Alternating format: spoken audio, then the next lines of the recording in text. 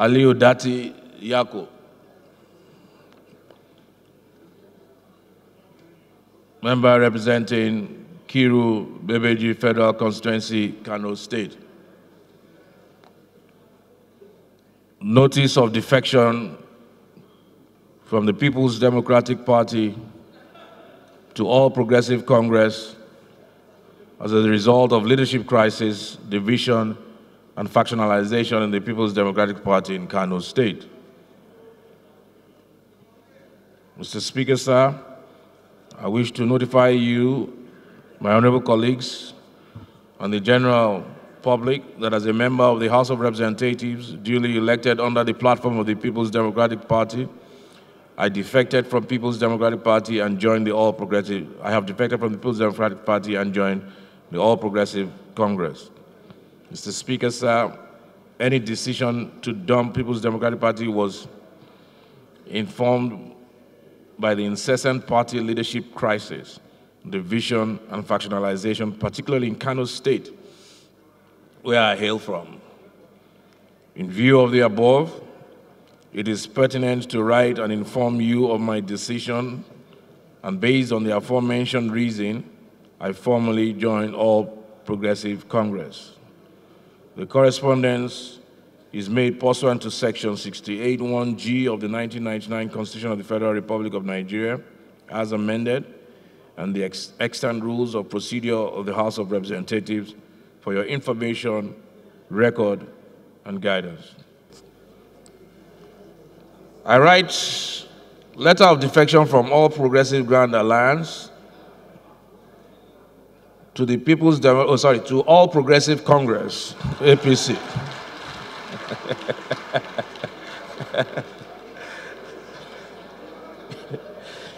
I write to formally notify you, sir, and all members of the House of my decision from All Progressive Grand Alliance to All Progressive Congress. My decision to defect is due to the existence of uncertainty in APGA, propelled by the continued lingering leadership crisis that has polarized and factionalized the party and giving rise to divisions in the party and the attendant lawsuits. And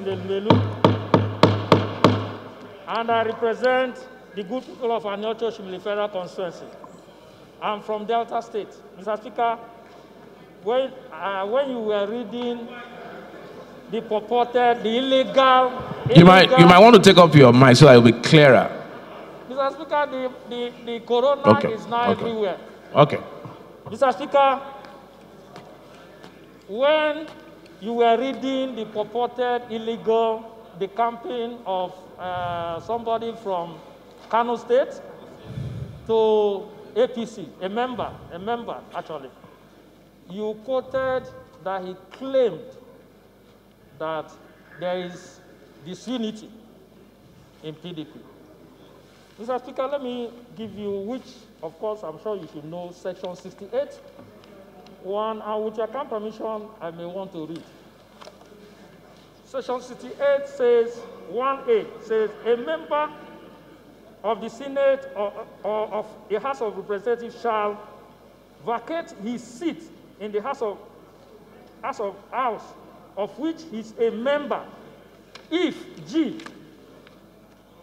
being a person whose election to the House was sponsored by one political party becomes a member of any other political party before the expiration of the period for which that house was elected. Mr. Speaker, Mr. There are, there are provisos. Can you go ahead and read the provisos in that section? I'm not aware, I'm not aware that PDP, in PDP, that will have any issue in Kano State.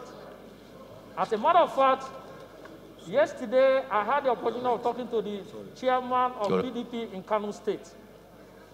And he told me, because I heard that this kind of letter will come up today. And I called him to find out if there was anything, and I also called my national chairman. And they said to that effect that there is nothing like disunity or any issue that is happening in Kano State. So, Mr. Speaker, I know you to be a man of integrity. Please I will move that this house that you declare the member seat vacant because there is nothing like PDP having any issue whatsoever.